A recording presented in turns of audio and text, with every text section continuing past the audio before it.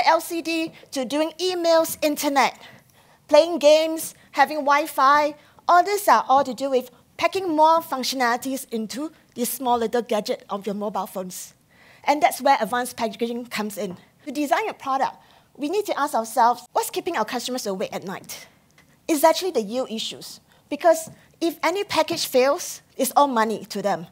So yield is the biggest issue always on our customers' mind. So the first thing that customer tell us is voiding. These little voids here you see will become bigger as you more thermal cycling or more current is run through them.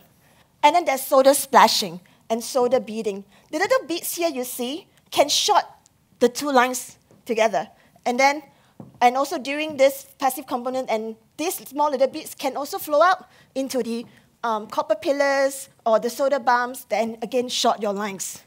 So these are the customers' feedback to us that what's keeping them awake. We do have very talented um, chemists that came up with a formula together with a new solvent that can prevent splashing and solder beading.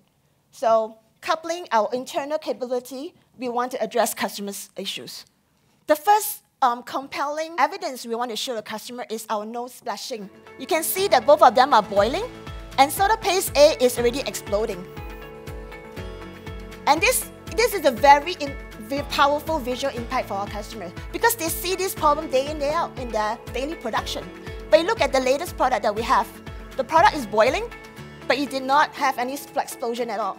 You can see little small little bits here. These small little bits here actually will go into your flip chip areas and short the lines if you have that. So we are very proud of this product and when we show the customer, they were all very, very surprised.